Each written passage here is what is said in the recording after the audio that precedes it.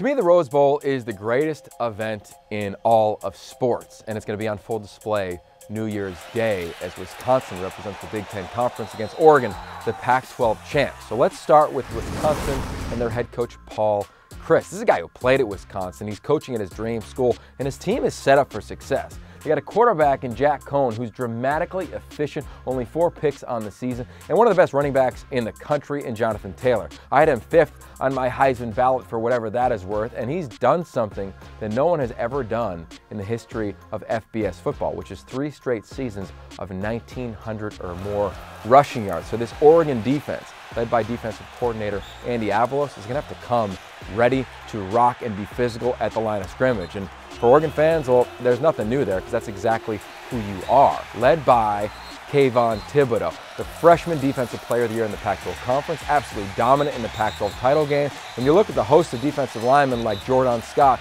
Austin Faoliu and company, this is a stout defensive front, and of course, Troy Dye, the four-year starter, senior captain, has led this team in tackles every year he's been in Oregon, returns home for his career finale as a Duck.